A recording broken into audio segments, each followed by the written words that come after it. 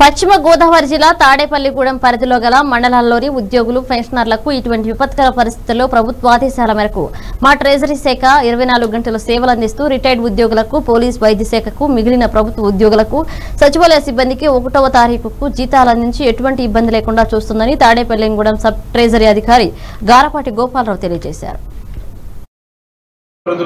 ఆరు మండలాలు ఉన్నాయి. మూడు వేల ఐదు వందల మంది పెన్షనర్లు ఉన్నారు. ఐదు వేల ఐదు వేల ఆరు వందల మంది ఉద్యోగస్తులు ఉన్నారు.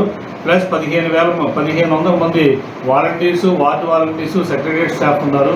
వీళ్ళందరికీ కూడా treasury department emergency department police medical మరియు పారిశుద్ధ కార్యక్రమం లాగానే ప్రతి డిపార్ట్మెంట్ కూడా ట్వంటీ ఫోర్ అవర్స్ సర్వీస్ చేయడం జరుగుతుంది. ఎవరైతే ఈ కరోనా నిమిత్తం పనిచేస్తున్నారో వారందరికీ కూడా ప్రభుత్వ ఉద్యోగులకు అందరికీ కూడా పెన్షనర్లందరికీ కూడా జీతాలు సకాలంలో ఇవ్వాలని అహర్నిశలు మేము పనిచేస్తున్నాం. కాబట్టి ఈ కిందటి నెల అందరికీ కూడా జీతాలు సకాలంలో ఇచ్చాం.